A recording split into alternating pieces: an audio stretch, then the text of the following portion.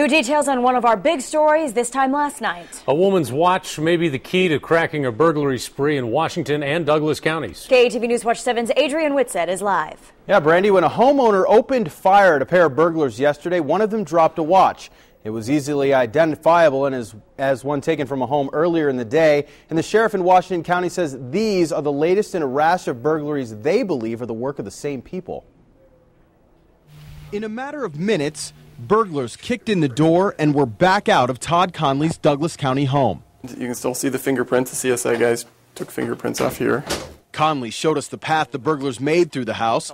Along with numerous electronic devices, the thieves took something more personal.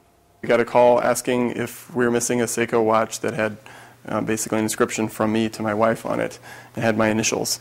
Someone dropped that watch at an attempted burglary less than 30 minutes later, 20 miles away in Washington County.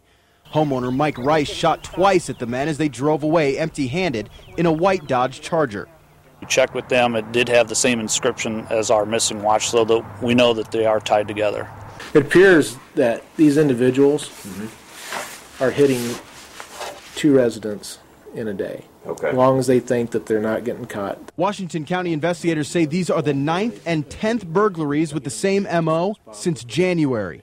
This is unusual for this area. Uh, usually we don't experience this type of uh, crime wave, so to speak. Sheriff Mike Robinson increased patrols in the 10 mile radius of the burglaries. We hope to get lucky and possibly catch them in the act or stop them uh, before they commit another crime. The sheriff says Monday's shooting may help as a deterrent, as rural homeowners like Rice and Conley aren't afraid to protect themselves. I figure they're taking their own life in their hands if they come into a house and break into my house.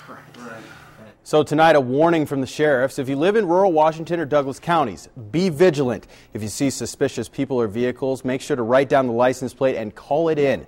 Reporting live, Adrian Whitsett, KETV News Watch 7.